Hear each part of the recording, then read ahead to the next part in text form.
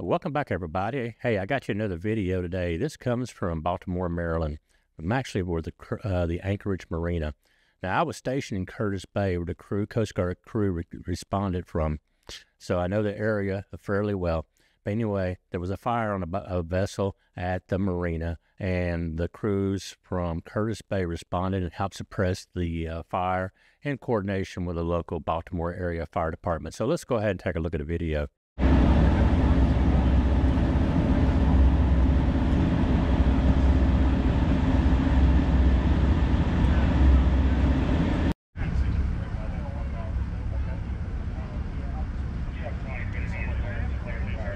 You can go on the boat with you have a flotation.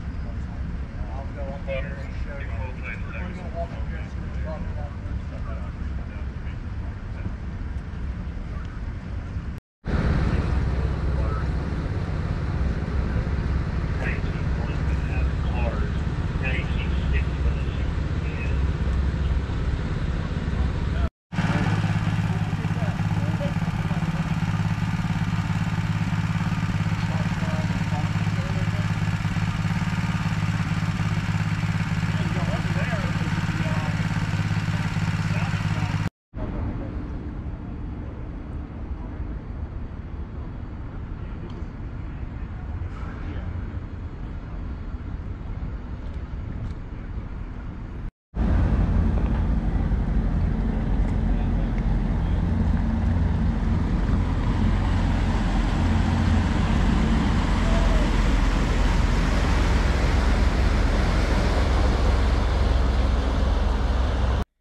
Guys, thank you very much for watching the video today.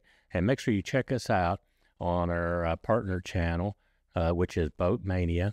And also check out our Facebook group, which is The Bad Boats. And check us out on X, which is The Bad Boats. Make sure you like and subscribe and you hit the notification button to get all the updates. And thank you very much and have a great day.